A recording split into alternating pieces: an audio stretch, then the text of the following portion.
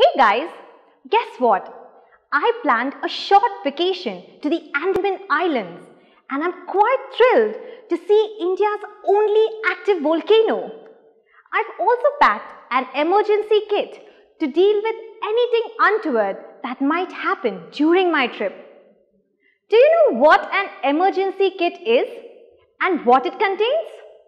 Well, an emergency kit is a small bag or box containing essentials like packed food, a bottle of water, a first aid box, flashlight, some money and an ID card.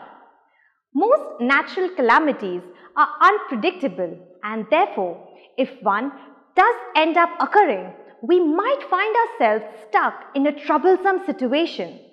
This is when emergency kits come in handy.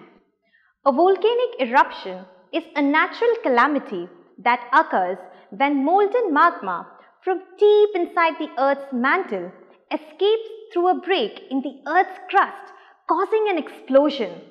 As a result of this explosion, hot lava and ash flow out and cause colossal damage to the environment. If you ever find yourself stuck in an area prone to volcanic eruptions, Make sure you keep yourself up to date with everything happening around you. Heard of tsunamis? When a tsunami strikes, massive waves hit the land and drag whole cities with them.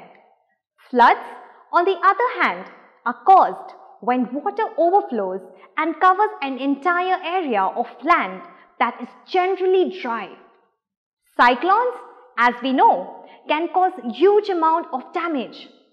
High-speed winds accompanying cyclones can uproot trees and destroy homes. So, if you ever find yourself stuck in an area that is flooded or where a cyclone might be approaching, make sure you get in touch with rescuers so they can take you to a shelter.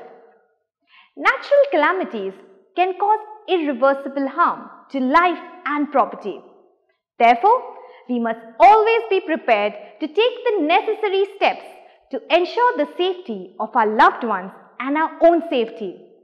As far as I'm concerned, I feel quite prepared now to visit the Andaman Island.